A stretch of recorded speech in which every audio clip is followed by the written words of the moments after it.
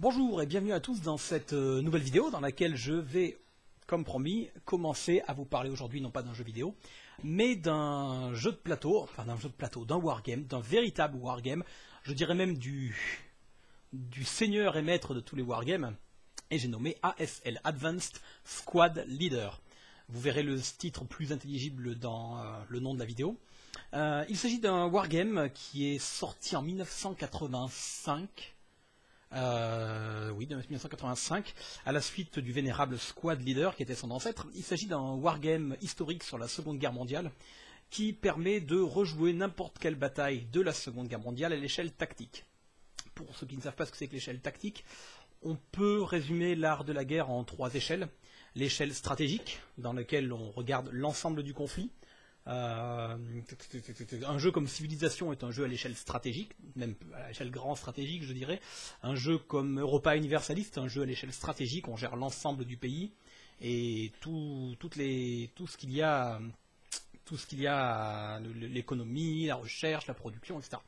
On a l'échelle opérative, euh, aussi appelé opérationnel, c'est une mauvaise traduction de operational en anglais, euh, donc qui est l'art de gérer une bataille. Donc une bataille euh, dans son ensemble, comme la bataille de Normandie, la bataille des Ardennes, la bataille de, le, plan Barbarossa, etc. Donc ça va être des batailles qui peuvent durer des mois, et où on gère des corps d'armée, des divisions, etc. Où on va se poser des questions sur le ravitaillement, sur les contournements, sur les prises de flanc, etc. Et nous avons l'échelle tactique dans laquelle nous sommes c'est là où on sent la poudre. Euh, c'est lorsqu'on dirige quelques dizaines d'hommes simplement euh, dans un conflit, dans une bataille pour, euh, par exemple, pour un bâtiment dans une ville ou voilà, typiquement les jeux bah, comme Battle Academy que je vous ai présenté récemment. Donc ASL est un jeu de wargame tactique sur la Seconde Guerre mondiale. Alors, comment se présente ASL ASL, quand vous l'achetez, il s'agit d'un classeur de règles. Voilà. Advanced Squad Leader, donc un classeur de règles contenant les règles du jeu, divisé en plusieurs chapitres. Donc le chapitre A qui présente toutes les règles de base pour jouer, l'infanterie. Le chapitre B en vert qui représente tout ce qui est sur le terrain. Le chapitre C en bleu qui est toute l'artillerie et les canons. Le chapitre D en gris, c'est les véhicules. Le chapitre E en bleu clair, ce sont les règles diverses, et viennent ensuite les modules sur le désert, la guerre dans le désert, la guerre dans le Pacifique, et les différentes campagnes historiques. Une fois que vous avez acheté les règles, pour jouer, il vous faut encore les modules. Donc les modules sont des boîtes, si nous avons Armies of Oblivion, euh, qui contiennent, chaque boîte, une armée. Donc Armies of Oblivion euh, représente les, les axis mineurs, donc les, factions mineures de l'axe. Euh, donc ça va être les Hongrois, ça va être les Yougoslaves, euh, non pas les Yougoslaves, ils sont dans les alliés mineurs, excusez-moi. Euh, les Hongrois, les Bulgares, les Slovaques, les Croates, les, Roumains, pardon. voilà, donc vous avez le module principal qui est Bayon Valor, qui représente, qui contient les Russes et les Allemands. Euh, ainsi que tous les marqueurs de base nécessaires pour le jeu. Et après, vous avez Yanks pour les Américains, euh, West of Alamein, or Forking Country pour les Britanniques, euh, Gung Ho pour les Chinois, Code of Bushido pour les Japonais, il y en a plein, Holo Legion pour les Italiens, Croix de guerre pour les Français, Partisans pour les partisans. Je regarde là-haut parce que j'ai toute ma collection d'ASL, c'est des piles de caisses que vous voyez tout en haut de mon étagère. voilà. Donc vous avez des, pions, des milliers de pions dans chaque boîte pour représenter chaque véhicule, chaque, chaque unité, et des cartes, donc des cartes de jeu géomorphiques, hein, c'est-à-dire que quand vous prenez deux cartes, vous pouvez les coller l'une à l'autre. Hop là, les routes et les rivières sortent au milieu, ce qui fait qu'elles sont compatibles entre elles, euh, quelle que soit la façon dont on veut les mettre, et ce qui permet de représenter un maximum de terrains différents. 44, 45, 47, voilà. Donc les cartes sont numérotées, il y en a une soixantaine actuellement. Et vous aurez également dans vos modules des scénarios, donc ce sont des fiches comme celle-ci, qui représentent donc une bataille avec tout le descriptif pour rejouer cette bataille. Et après, vous jouez donc euh, avec votre opposant, euh, vous accomplissez les objectifs indiqués sur la fiche du scénario, euh, avec toutes les conditions qui sont indiquées. Souvent, c'est des fiches qui sont recto-verso, avec un autre scénario derrière. Et donc, avec tout ce qui existe, toutes les nations qui sont représentées, les cartes, les pions, tout ça, on peut représenter absolument n'importe quoi. Donc il y a deux types de modules. Il y a des modules euh, génériques, donc avec, comme je montrais Armies of Oblivion, avec une armée. Mais nous avons également des modules historiques, euh, comme par exemple ici, euh, j'ai Valor of the Guards, de Guards, Guards, Guards, qui représente pour la bataille de Stalingrad, pour la bataille autour de la gare de Stalingrad, qui permet de jouer une campagne, donc d'enchaîner plusieurs scénarios avec de la gestion de renforts entre les autres, d'expérience des unités, etc. j'ai également Pegasus Bridge sur les planeurs anglais qui se sont posés sur le pont du canal de Caen la veille du débarquement. Et puis de tonnes d'autres. J'ai joué il y a quelques années Berlin Fall of the Third Reich, qui est la campagne pour la ville de Berlin qui fait s'affronter les euh, Russes aux Allemands en, mai 1945. Donc c'est apocalyptique, euh, vraiment génial. Donc pour vous présenter un peu plus loin ce jeu, je vais vous présenter une partie que je joue avec un, avec un adversaire euh, via VASL. Donc VASL est un logiciel permettant de jouer à différents jeux de plateau sur son ordinateur et d'échanger ou par mail les fichiers du jeu ou jouer en direct de façon à bien jouer avec un adversaire qui est à l'autre bout du monde. Donc c'est pour le tournoi VASL 2015. donc Vassal est le logiciel permettant de jouer à des jeux de plateau sur ordinateur. VASL est une extension de Vassal faite pour jouer à ASL. donc je joue avec un adversaire portugais que je ne connais pas dans le cadre du tournoi VASL 2015. Euh, il s'agit de 5 parties jouées dans l'année. Et voilà, donc euh, c'est des rondes classiques. Euh, comme vous allez le voir, donc je vais d'abord vous présenter la mise en place du jeu sur écran. Et ensuite, je, vais enregistrer chaque partie que je ferai avec Antonio José, Antonio Rosé, excusez-moi, je prononce très mal le portugais. et je vais enregistrer tout ce qu'on joue et vous le commentez après qu'on l'ait joué. Donc c'est parti, à tout de suite pour ASL. Et nous voilà donc en jeu, donc avec le avec l'interface VASL, donc qui est un qui est un logiciel permettant de jouer, euh, enfin Vassal, hein, donc voici Vassal, qui permet de jouer à différents jeux de plateau sur ordinateur. Donc j'ai le module VASL qui permet de jouer à Advanced Squad Leader. Euh, donc pour, euh, bah, pour cette partie de démo, ça va être en fait une véritable partie puisque je joue dans le cadre du tournoi VASL 2015 euh, donc on est censé jouer en ligne puisque c'est via VASL, euh, sur des scénarios, donc on s'entend directement avec notre adversaire pour savoir quel scénario on va jouer. Et celui-ci est, on va dire, assez cher à mon cœur, puisqu'il s'agit de, Liberation of Tulle, donc la libération de Tulle, pour ceux qui sont vraiment fâchés avec l'anglais, et donc qui est un scénario qui a trait à la libération par les résistants en 1944 de la ville de Tulle.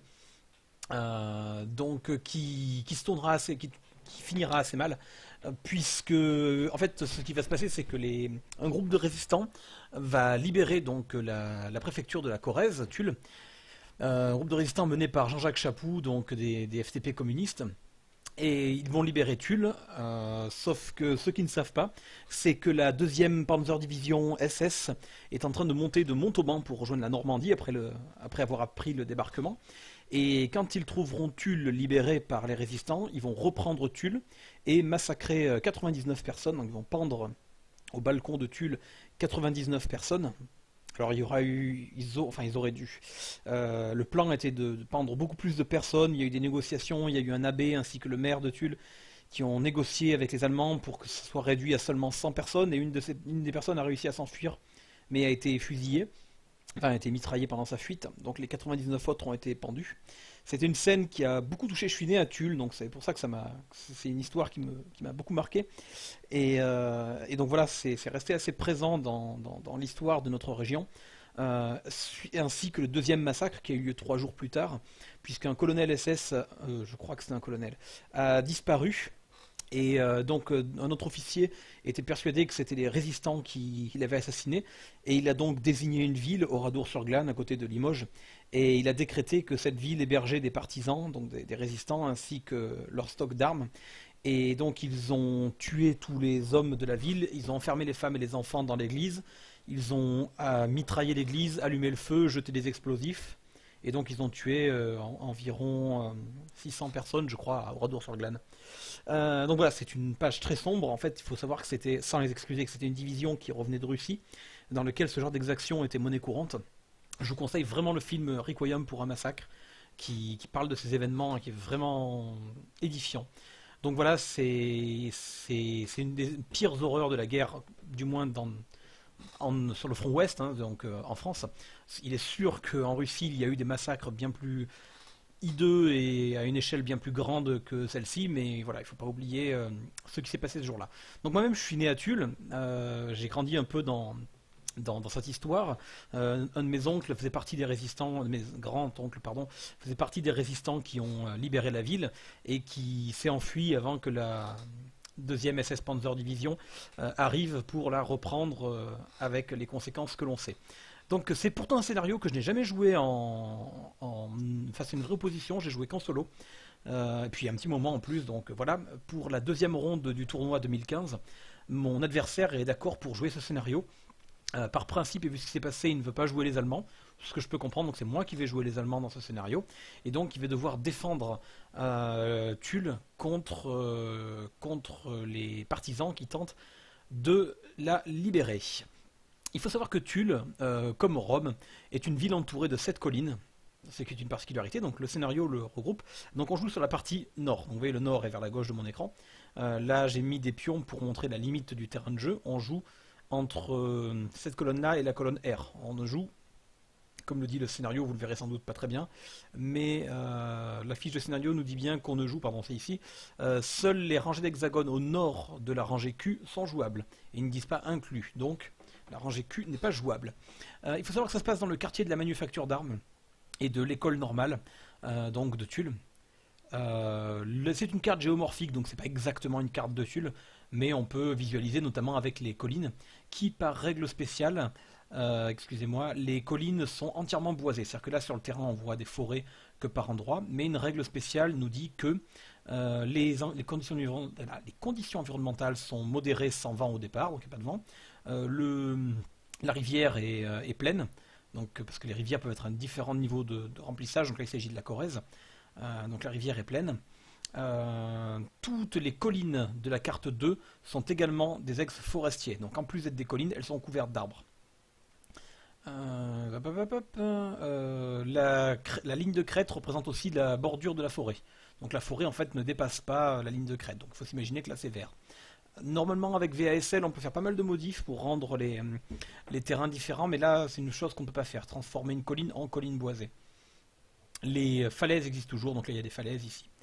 Euh, voyons voir les autres règles spéciales. Regardons, on va regarder en détail le scénario et nous allons procéder au setup et je vous commenterai les tours, chaque tour en fait, euh, une fois qu'on les aura joués avec mon adversaire. Donc, lisons-le dans l'ordre. Avec l'arrivée des Alliés en Normandie, beaucoup en France pensaient que les libérations arriveraient dans les semaines, si ce n'est dans les jours à suivre. Jean-Jacques Chapou, du maquis communiste des FTP, franc-tireur et partisan, euh, croyait euh, qu'ils auraient maintenant les moyens donc de se libérer de leur même, de, de leurs propres mains, euh, ou bien au risque de, voir leur pouvoir dans la Corrèze euh, rejeté par l'histoire. Ils avaient peur que les, libérateurs américains contrôlent vraiment le pays. Donc euh, envers et contre tous les ordres qu'ils avaient reçus de Londres, et envers et contre toute la logique de la guérilla et de la prudence commune, ils ont tenté de prendre le contrôle de la ville endormie de Thune. De Tulle, excusez-moi. Donc le but du jeu, les maquisards gagnent s'ils contrôlent 4 bâtiments multi-eggs à la fin du jeu. Donc les bâtiments multi-eggs, c'est des bâtiments composés de plus d'un hexagone. Donc ce qu'on va faire, on va prendre les overlays, euh, les victories, les victories, les victories. Euh, je ne sais plus où sont les points de victoire. Hmm. Voilà ici. Donc on va mettre un V sur chaque euh, bâtiment qui est multi-ex, juste pour qu'on se rappelle que c'en est un qui compte pour la victoire. Donc ça, je me plais à dire que c'est la manufacture d'armes, ce bâtiment en pierre ici, puisqu'il s'agit d'un des bâtiments stratégiques de la ville de Tulle. Plus aujourd'hui, elle a fermé depuis quelques années maintenant. Euh, voilà, voilà. Donc voilà les bâtiments. Il y en a 1, 2, 3, 4, 5, 6. Et donc les maquisards gagnent s'ils en contrôlent 4. Et ils ont 8 tours pour ce faire. Les Allemands. Donc c'est des éléments du 3e bataillon du 95e régiment de sécurité. Donc on a un ELR, Experience Level Rating, donc c'est un niveau d'expérience qui est de 2, qui est donc très faible.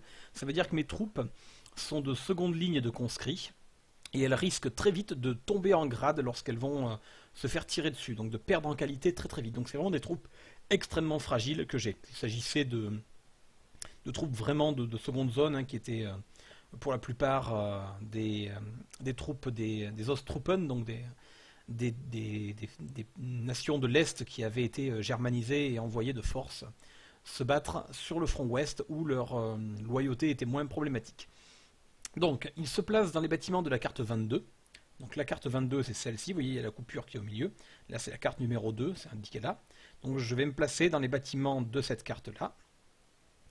Euh, building X 22, au sur ou au nord de la rangée R, de toute façon je n'ai pas le choix, c'est forcément au nord de la rangée R, avec un maximum de 2 squads ou équivalent par bâtiment. Donc j'ai 11 squads, on va les voir tout à l'heure, je ne peux pas en mettre plus de 2 par bâtiment. Les leaders et les armes de soutien peuvent s'empiler librement, et j'ai une valeur de sniper, sniper activation number de 4. Mon adversaire a également une expérience assez faible, hein, il s'agit quand même de, de troupes euh, non professionnelles. Il se place sur la carte 22. Sur, euh, oui d'accord, sur la carte 22, sur les zones de forêt, euh, avec une coordonnée de 1 ou de 0. Donc ils vont se placer sur le bord ici. Donc ils vont être tassés sur le bord de la carte. Donc ils vont avoir DD1, CC1, BB1, A1, Z0, X0, W1, V0, U1, T1, S1. Voilà, ils vont se placer dans, cette rangée. Ils vont être vraiment tassés au départ. Parce qu'ils sont nombreux. Euh, moi, donc, ah oui, ils ont un petit groupe également qui se place en 2I7, 2J6, 2K6. Donc euh, J6 c'est là, K6 c'est là, I7 c'est là. D'accord, c'est un petit groupe de renfort qui arrive en retard qui est ici. Qui sera ici. Voyons les forces en présence. J'ai 6 squads, 4, 4, 7. Donc il s'agit de troupes de seconde ligne allemande. Euh, donc qui ont une puissance de feu moyenne et qui ont une portée relativement inférieure à la moyenne et un moral correct. 7, un moral moyen. J'ai également 5 squads de conscrits avec une portée inférieure à la moyenne. Ils ont 3 et un moral inférieur à la moyenne. 6.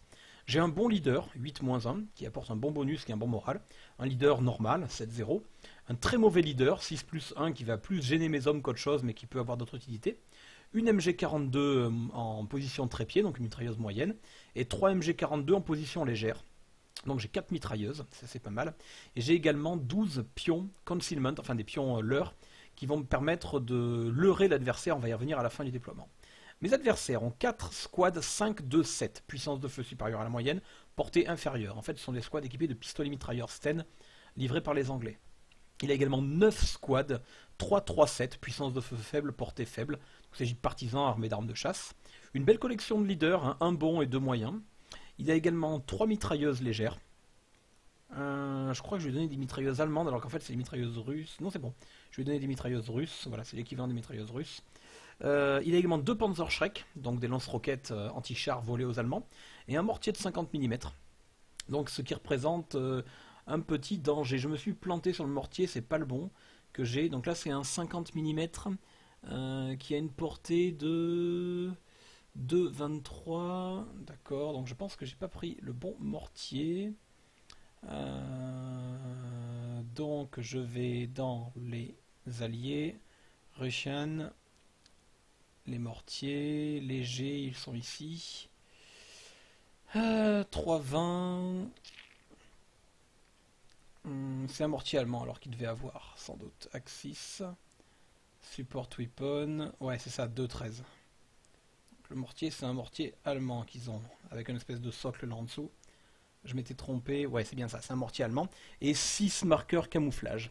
Ils ont également des renforts qui arrivent sous la forme d'un autre squad équipé d'armes automatiques, de 7 autres squads équipés euh, comme des résistants, un autre leader et deux autres mitrailleuses. Donc c'est pas, pas une force à prendre à la légère qui arrive ici. Euh, il faut savoir que dans le scénario, les Allemands se placent en premier, German set up first, et les partisans joueront en premier. Le scénario dure 8 tours, ce qui est long. Les, les euh, conditions environnementales donc, sont modérées, on l'a vu tout à l'heure. Les squads 5-2-7 retiennent leur, gardent leur capacité de puissance de feu et leur morale, mais sont considérés comme des partisans. Ce sont des squads russes qu'on utilise pour les représenter. Donc ils sont quand même considérés comme des partisans, mais avec des caractéristiques de russes. Donc ils ont un ELR de 2, ils sont lax, ça les rend moins efficaces en corps à corps. Euh, donc ils utilisent euh, un mortier allemand et des Panzerschreck euh, allemands, mais des armes russes. D'accord. Ils ne peuvent pas se déployer, donc se séparer en plusieurs groupes, ni former de fire group multilocation. Ça va être important ça de s'en rappeler. Et les Allemands n'ont pas de Panzerfaust. Ok, donc on va commencer par le placement. Donc le but, c'est de retenir pendant 8 tours, d'empêcher les résistants de s'emparer de 4 bâtiments. Donc ça sert à rien de tenir tous les bâtiments. Il faut que j'en tienne au moins 3. Si je tiens au moins 3 bâtiments, il n'en possédera que 3, mon adversaire, et donc il n'aura pas gagné. Euh, ça va être difficile, on, est vraiment en infériorité numérique, hein, puisque on a un total de 11 squads contre 13, 14, 21 squads, donc quasiment à 2 contre 1, on est. En termes de puissance de feu, on est également largement battu, à 25, j'ai pas envie de faire les calculs, on est clairement largement battu parce qu'ils sont plus nombreux et ils ont beaucoup qui ont une puissance de feu supérieure à la nôtre. Euh, ça, c'est leurs avantages. Hein. Surnombre, puissance de feu supérieure, et ils ont une longue durée pour effectuer leur mission. Ils ont 8 tours, sachant que, dans le pire des cas, ils n'ont que 10 eggs à traverser. C'est-à-dire qu'ils vont commencer ici, et pour aller jusqu'au bout de la carte, ils n'auraient que 10 eggs à traverser. Donc même s'ils ne progressent que d'un ex par tour, s'ils passent un tour entier à progresser d'un ex, en 8 tours, ils seront arrivés jusque-là, ils auront pu libérer 4 bâtiments. Donc il faut que je les empêche ne serait-ce que de progresser d'un seul hexagone par tour. Waouh euh, Bon voilà, donc leurs avantages sont le nombre, la puissance de feu et le temps. Mes avantages. Alors mes avantages, ben, ils sont pas très nombreux. Mes avantages, je dirais que hum, il y a le fait d'être défenseur, donc euh, d'être à l'abri dans des positions solides, alors qu'eux vont devoir se déplacer et donc euh, prendre le risque de, passer sous mon feu. C'est relativement léger, parce qu'avec le nombre qu'ils ont, ils vont pouvoir euh, sans doute m'écraser par le nombre localement. Mon deuxième avantage, je pense, c'est l'étroitesse de la carte. Comme la carte est très étroite, l'avantage numérique adverse va être légèrement réduit. Si on jouait sur toute la largeur de la carte, je n'aurais pas assez d'unités pour couvrir tout le, tout le front, et il pourrait donc tenter de me contourner par un côté. Là, la carte est extrêmement réduite. On est sur une largeur de 1, 2, 3, 4, 5, 6, 7, 8, 9, 10, 11, 12, 13, 14, 15, 16. 16, c'est quand même relativement faible. Et donc, je devrais pouvoir facilement couvrir toute la carte et éviter les contournements. Ça, c'est un avantage que je pense assez sérieux, l'étroitesse de la carte. Un autre avantage, c'est la quantité de mitrailleuses, c'est-à-dire que j'ai quasiment la moitié de mes unités, 40% de mes unités, auquel je peux attribuer une euh, mitrailleuse, puisque j'ai 11 unités et j'ai 4 mitrailleuses. Donc ça me donne euh, une capacité d'interdiction assez intéressante.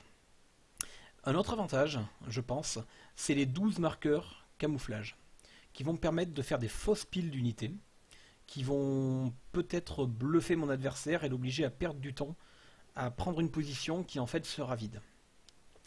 Bon, alors c'est pas beaucoup, on va jeter un petit coup d'œil sur internet sur ce qu'on appelle le ROAR. Donc il s'agit du scénario ASL scénario 27. On va aller sur hop là ASL ROAR. Hop là, c'est ce site-là. J'avais un problème. Euh, oui, parce qu'ASL est également le American Sign Language, donc le langage des signes américains. Donc souvent on, bug un peu, on tombe sur des trucs assez étranges. Euh, ça fait un moment que je suis venu sur le sur le ROAR. Donc le ROAR, il s'agit d'un d'un site web où vous venez enregistrer vos parties et vous pouvez donc venir voir après, chercher les scénarios et voir combien de personnes les les ont joués et combien ont gagné ou perdu. C'est-à-dire qu'on peut voir si tel ou tel scénario a plus souvent été gagné ou perdu. Euh, ah oui, d'accord, bah, j'étais pas sur le bon site. Je me disais bien aussi, ça me rappelait rien du tout. Bon, le site l'air assez long. Voilà.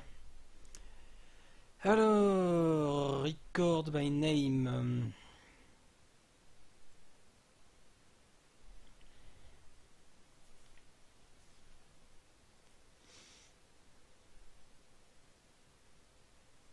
Voilà, le temps que ça charge, on va en avoir pour un petit moment. Il y en a juste des kilos. Ouais, ça va être sur plusieurs pages. Non, c'est juste que ça met des plombes à s'afficher. Donc The Liberation of Tulle, le temps que ça tourne, on va commencer à s'occuper un peu de notre déploiement. Donc j'ai mis mes unités ici. Alors, regardons les axes de pénétration. C'est ce qui est le plus intéressant. Donc l'endroit où l'adversaire peut progresser aisément. Donc il y a cette forêt qui représente un avantage de pouvoir avancer tranquillement. Si j'ai si personne pour couvrir ce flanc, il va pouvoir avancer tranquillement jusqu'à ces bâtiments-là. Donc on va juste pour, euh, mémoire, on va positionner une unité ici pour couvrir ce flanc-là. Euh, on va mettre sur les ailes des conscrits, histoire de l'empêcher de faire une percée rapidement sans opposition. On va mettre un squad de conscrits sur chaque aile. On a un positionnement intéressant, je pense, pour une mitrailleuse ici en Y7. Bien qu'il soit un terrain découvert, il est derrière un mur, donc au début je risque pas grand chose. Et je peux prendre toute cette rue en enfilade, même si je sais qu'il ne passera pas par cette rue. Je peux tirer jusque là, c'est-à-dire qu'une unité qui sera, disons, si on le pose ici, il peut tirer là, là, là, il peut tirer là, juste derrière. Je me suis planté, ce ne sont pas des 4-6-7, ce sont des 4-4-7 que je dois avoir. Euh... Pardon, excusez-moi. Ce sont des 4-4-7 et il y en a 6. Squad. Ils sont 4, 4, 7. Ils sont là. Hop. 2, 3, 4, 5, 6. Voilà. Pas que je truande mon adversaire. Euh, si je le positionne ici, pardon, je disais, donc il va pouvoir voir ici, voir ici, voir ici. Il pourra voir là au-delà de cette haie, mais pas au-delà plus loin. Donc il peut voir juste derrière la haie, mais pas au-delà plus loin. Donc il ne, verrait, pas cette route, mais il aurait une bonne couverture. Non, c'est pas si génial que ça. Je pense que je vais mettre à l'étage d'un bâtiment. Donc comme vous voyez, ça c'est un bâtiment euh, multi-eggs. Euh, ils ont donc un deuxième étage. Donc les bâtiments d'un seul eggs n'ont pas d'étage. Enfin, en termes de jeu, ils n'ont qu'un rez-de-chaussée. Les bâtiments multi-eggs ont un étage, donc on peut aller au premier niveau. Et les bâtiments multi-eggs ayant une case carrée ont deux étages, mais on ne peut changer d'étage que dans la case où il y a un carré. C'est la cage d'escalier. Donc je pense que la logique veut, le point le plus haut c'est ce bâtiment-là, donc je vais mettre ma mitrailleuse au deuxième étage de ce bâtiment. Après on va revoir un peu plus en détail euh, le map, map, map, map, map. Euh, ok, c'est ici. Building, et donc on prend level 2. Voilà, on le met ici. Poum, on pose la mitrailleuse dessus. On y met un leader avec. Ça, c'est en général, si vous avez une position très haute, vous y mettez un squad, une mitrailleuse, un leader. Et vous savez qu'il est capable de tirer par en dessus les obstacles. Donc là, étant au niveau 2, je vais pouvoir tirer par en dessus les maisons de niveau 1, les forêts, sauf dans les angles morts. Alors il y a beaucoup d'angles morts, par exemple. Tout ça ici, c'est des angles morts couverts par cette maison. Mais cet hexagone sera... Je pourrais le prendre sous le feu. Euh, vu comme le terrain est fermé, je ne suis pas sûr qu'être à l'étage soit un excellent plan. Se positionner là, ça peut-être mieux. Moi, je suis sur la cage d'escalier, je pourrais descendre rapidement. Continuons de réfléchir. On va ajuster au fur et à mesure, hein, bien entendu. Euh, on va faire une première ligne de conscrits. Juste pour les ralentir. Le but n'est pas d'arrêter euh, mes adversaires, mais de les ralentir. Donc là, comme ça, j'ai une première ligne de conscrits. C'est-à-dire qu'il ne peut pas avancer tout bête au premier tour. Il va devoir s'arrêter pour au moins me tirer dessus. La seconde ligne, donc je voudrais avoir des, positions de tir un peu plus intéressantes. Hmm. On pourrait mettre quelqu'un ici, hein, on, va, on va retoucher, hein, vous en faites pas, je vais pas...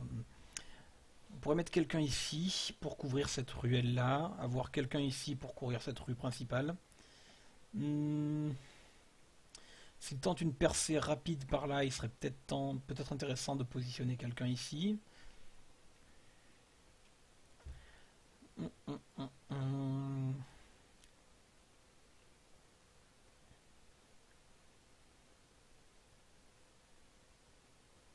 Avoir quelqu'un au premier étage là, ça peut être assez gênant.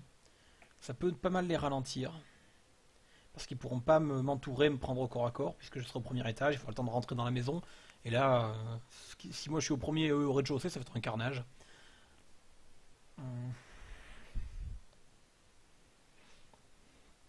Mhm.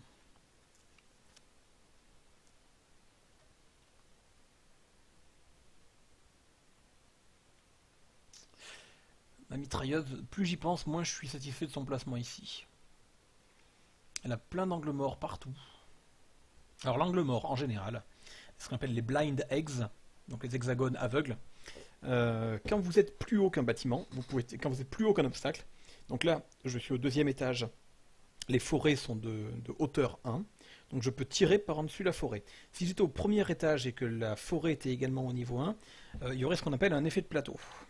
Pour vous parler un petit peu, je vais vous montrer ce que c'est qu'un effet de plateau. Disons que vous êtes sur une colline, je vais faire une super colline, vous allez voir. Euh, hop, remplissage, hop là. Donc disons qu'il y a une colline qui est comme ça, et vous, vous êtes dessus. Vous êtes sur la colline. Pourquoi j'arrive pas à changer la couleur? Bon. Vous êtes sur la colline. Je dessine affreusement mal et alors avec Paint, forcément, c'est pire. C'est un bonhomme ça en fait. Hein. Bon. Euh, la colline est de niveau 1, on va dire. Si l'obstacle. La colline va dire est de niveau 2. Si l'obstacle est de niveau 1, hop là, comme ça, vous avez une ligne de vue, bien entendu, qui va pouvoir faire comme ça, mais vous ne verrez pas ce qu'il y a ici. D'accord. Si maintenant vous avez un obstacle de la même hauteur que vous, c'est horrible, hein Si vous avez un obstacle de la même hauteur que vous, eh bien votre ligne de vue va avoir ce qu'on appelle un effet de plateau, ce qui fait que vous ne verrez jamais plus bas que cet obstacle. Voilà, affreusement défini, c'est ça en fait. Hein. Donc euh, voilà ce que c'est l'effet de plateau. Donc là, si je me mettais à l'étage numéro 1, cette forêt qui est de niveau 1 me gênerait complètement en fait. Je verrais au-delà de la forêt certes, mais je ne verrai jamais ce qui est au niveau du sol ici. En étant un cran plus haut, donc en étant au niveau 2, je vois par en dessus la forêt. Cependant, il y a un nombre de blind eggs, donc d'hexagones dans lesquels je ne peux pas tirer, de zones d'un angle mort, qui est égal à 1 plus 1 par tranche de 5 eggs entre moi et l'obstacle. Donc là, il y a 1, 2, 3, 4. Il n'y a pas de tranche de 5 eggs entre moi et l'obstacle. Euh, moins 1 par niveau de différence supérieur à 1. Attention. Euh, prenons un exemple. Je suis niveau 2, la forêt est niveau 1. 1, 2, 3, 4, il n'y a pas une tranche entière de 5 eggs. Donc je n'ai qu'un seul eggs de base. Si il y a cette forêt qui est là, 1, 2, 3, 4, 5, 6, 7, 8, il y a une tranche de 5 hexagones. Disons que là, ce soit du, niveau du sol après. Hein. Donc il y a un ex de base, de zone morte, plus 1 parce que j'ai au moins une tranche de 5 hexagones entre moi et l'obstacle. Donc il y a 2, 1, 2. Donc dans celui-ci non plus, je ne verrai pas.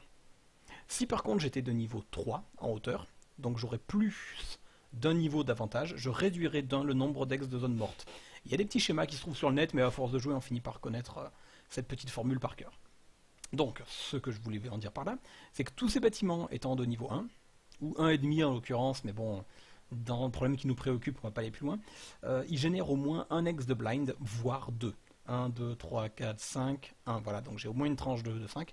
Donc là, par exemple, les, résistants qui vont rentrer dans cette case, ma mitrailleuse ne les verra pas. Et ceux qui sont ici, on ne les verra pas non plus, parce qu'à cause de la distance, là j'ai deux ex de zone morte.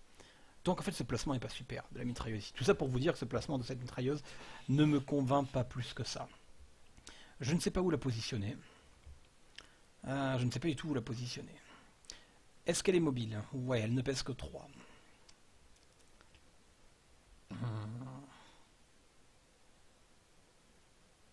Bon, on va commencer par les mitrailleuses légères.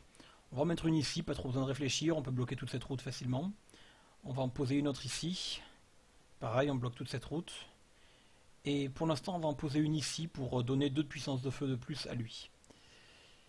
Euh, bon.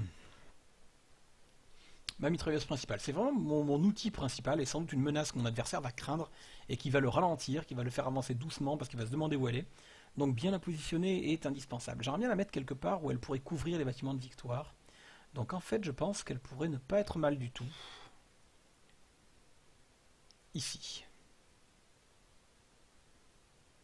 Parce qu'ici, elle pourrait tirer sur cet hexagone de bâtiment-là. Elle pourrait tirer sur ce bâtiment-là. Elle pourrait tirer sur ce bâtiment-là. Elle a également un angle de tir jusqu'ici. Elle n'est pas si mal. Et on va peut-être tenter un coup assez vicieux ah, on va y revenir. On va tenter de le bluffer. La logique voudrait que je mette ma mitrailleuse là-haut. J'ai 12 marqueurs camouflage. On va mettre un leader 6 plus 1 là-haut. Donc ma mitrailleuse, vous voyez, elle est composée de 3 euh, unités. L'escouade, la mitrailleuse et le leader. Et je vais y mettre un marqueur camouflage dessus. Donc, pour mon adversaire, c'est une pile de 4 pions, point d'interrogation. Donc ce que je vais faire, c'est que je vais faire 1, 2 et 3. Ce qui fait qu'il va voir au deuxième étage ici, une pile de 4 pions, point d'interrogation. Je vais également, ici, mettre 2 points d'interrogation.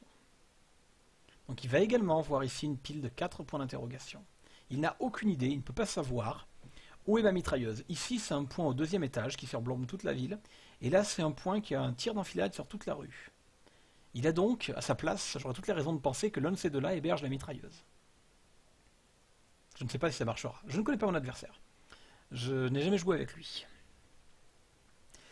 Nous allons également mettre des camouflages sur mes troupes de première ligne, parce qu'en plus de camoufler ce que c'est, cela divise par deux la puissance des unités qui tirent dessus. Comme ils vont être en première ligne, j'aimerais bien les voir survivre au premier tir. Alors des fois le, logiciel fige un petit peu. Allez, voilà. Euh, et mon dernier marqueur de camouflage. Va utiliser une autre ruse de Sioux. Hmm, qui marche pas très bien sur VASL, je vous expliquerai pourquoi. Je vais bien le mettre. je vais le mettre ici, avec un leader et un camouflage. Donc elle pourrait très bien être ici aussi, la mitrailleuse. Voilà. Donc ainsi, j'ai camouflé ma première ligne. Donc j'appuie sur ce bouton pour enlever les marqueurs Move. Donc voilà, là il, doit se douter que j'ai des troupes, bien que ça pourrait être des leurs, mais bon, il va se douter que c'est des troupes. Ça va juste me protéger contre leurs tirs au départ, me permettre de résister à leurs tirs au départ. Les autres sont hors d'atteinte, personne qui est en première ligne, hein, tout le monde a reculé un petit peu. Euh, et là j'ai quatre éléments qui, n'importe lequel d'entre eux, peut héberger ma mitrailleuse. Ou alors... Non, le mettre là-bas n'aurait aucun sens. Ou alors je mets au premier étage ici avec le leader et un point d'interrogation, de façon à, pareil, le laisser douter sur la position de ma mitrailleuse. Non, parce qu'au premier étage ici, elle servirait à rien. Donc il s'en douterait qu'elle n'est pas là. Hmm, alors je pourrais très bien éclater mes points d'interrogation pour couvrir toutes mes troupes. Il me suffirait, pour autant, d'enlever une de mes piles de l'heure, et je pourrais camoufler plus de troupes. Mais je pense que le laisser douter sur la position réelle de ma mitrailleuse est peut-être un peu plus intéressant. Je ne sais pas. Il faut que je réfléchisse s'il y a un accès simple maintenant. Donc ici, il va pouvoir se positionner là, avec des unités, puisque DD1, il aura le droit de s'y positionner. Et il peut très bien faire une grosse pile de 3 unités, euh, qui pourrait regrouper 15 euh, de puissance de feu, plus des mitrailleuses, 18, 21, 24. Donc il pourrait très bien positionner un stack ici avec 24 de puissance de feu, et tirer là-dessus, divisé par 2 à cause de mon camouflage, ça ferait 12, mais 12 de puissance de feu, surtout s'il met un leader, il a toutes les chances de péter lui, et ensuite de tenter une infiltration par là avec du monde. Donc je pense qu'il y, a une faiblesse ici, parce que celui-ci est vraiment coupé du reste.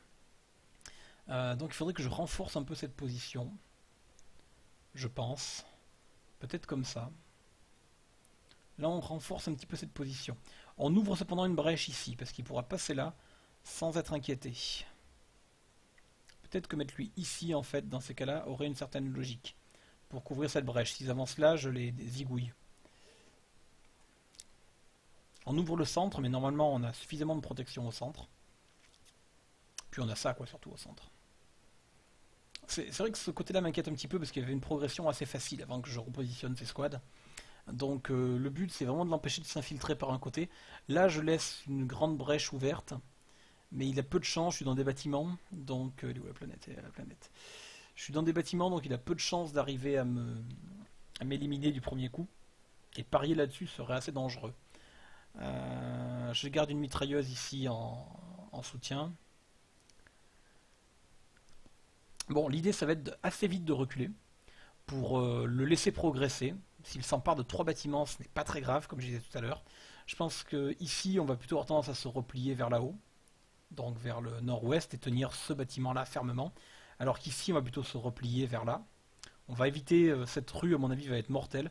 Surtout s'il positionne une arme lourde du genre un mortier ici. Cette rue-là sera une killing zone, donc il ne faudra pas s'amuser à traverser. Euh, je pense que voilà, on va se replier sur la manufacture d'armes ici, et sur ces deux bâtiments-là ici, quitte à lui abandonner les trois précédents. On va quand même se battre pour le ralentir. S'il peut passer 3-4 tours à libérer ces bâtiments, ça m'arrangerait clairement. Le but c'est de gagner du temps encore une fois. Hein. Ce qui m'embête c'est que je n'ai aucun leader sur ce flanc. C'est plutôt ennuyeux.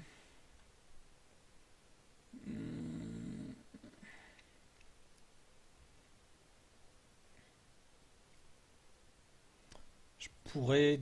Ouais, j'aimerais bien mettre un leader ici, en fait. Parce que là, j'aurais un leader sur ce flanc. Tant pis, on va limiter un peu ma, surprise. Voilà, donc lui, je le décamoufle. On va le mettre ici. Et l'astuce qu'on va faire, c'est qu'on va donner la mitrailleuse au leader et mettre le squad en dessus. Pourquoi?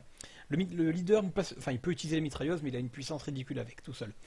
C'est que au placement, il peut regarder ce que je n'ai pas camouflé quand il va se placer, mais il n'a pas le droit d'inspecter mes piles. Donc il n'a pas le droit de venir regarder ce qu'il y a dedans. Donc en faisant ça, je lui laisse le doute sur le fait d'où est la mitrailleuse.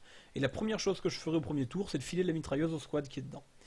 Quoique, non. Parce que comme je disais dans VASL, par incident ou même avec un peu mauvaise volonté, il peut faire ça et voir le contenu de ma pile. Euh, donc non, on va passer. C'est une ruse de Sioux que j'utiliserai carrément dans une partie euh, front to front, donc face à face. Mais là, je pense que c'est un peu inutile. Le camouflage, on va le garder là, histoire qu'il ait peut-être un doute sur la position de ma mitrailleuse ici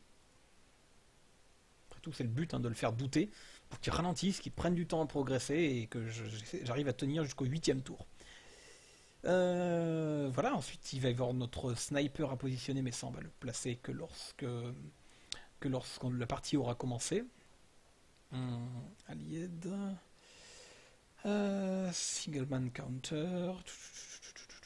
Où qu'ils sont les snipers? Ça, ça sera leur sniper à eux qui va être de valeur 4. Je vous expliquerai la mécanique du sniper, ou je vous explique maintenant, allez, je suis motivé. Le sniper est un facteur d'équilibrage dans le jeu. Donc ce marqueur, je vais le poser quelque part, lorsqu'il aura fini de placer ses troupes, et ça représente la zone d'activité du sniper, non pas le sniper lui-même. Euh, mon sniper a une valeur de 4, c'est indiqué ici, Sniper Activation Number, il est là. Euh, savoir que dans ASL, plus vous faites un jet de dés faible, plus c'est réussi. Donc pour réussir un jet de dés, il faut qu'il soit petit. On jette souvent 2 dés, le 2, le double 1 donc, et un des meilleurs résultats qu'on puisse obtenir. Le sniper se déclenche lorsque votre adversaire obtient votre chiffre de sniper, qui est souvent un chiffre bas.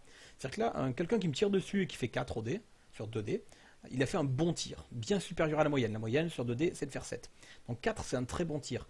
C'est un facteur d'équilibrage qui fait que sur un bon tir, eh bien, j'ai une chance que mon sniper agisse. Donc le, sniper sert à ça, à contrebalancer les effets d'un bon jet de dés de l'adversaire. S'il fait un 3 ou un 2, il déclenche pas mon sniper et en plus c'est un encore meilleur tir, mais c'est bien plus rare un 3 ou un 2, bien que ça arrive. Sachant, il faut savoir que si quand vous tirez vous faites un double, donc notamment le double 1, ça réduit votre puissance de tir si vous n'avez pas de chef. Tout ça c'est des facteurs à prendre en compte, on y reviendra petit à petit. Ça va être une partie qui se voudra légèrement didactique quand même.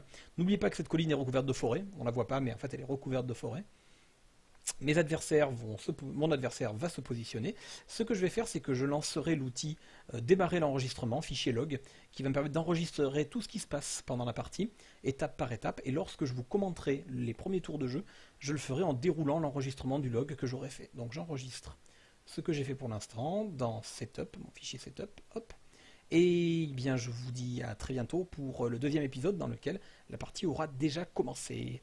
Je vous remercie de m'avoir suivi. N'hésitez pas à commenter, à aimer la page Facebook, hein, puisque, puisque je m'y suis jeté. Et merci en tout cas pour tous vos commentaires qui sont venus jusqu'à présent. Allez, à bientôt.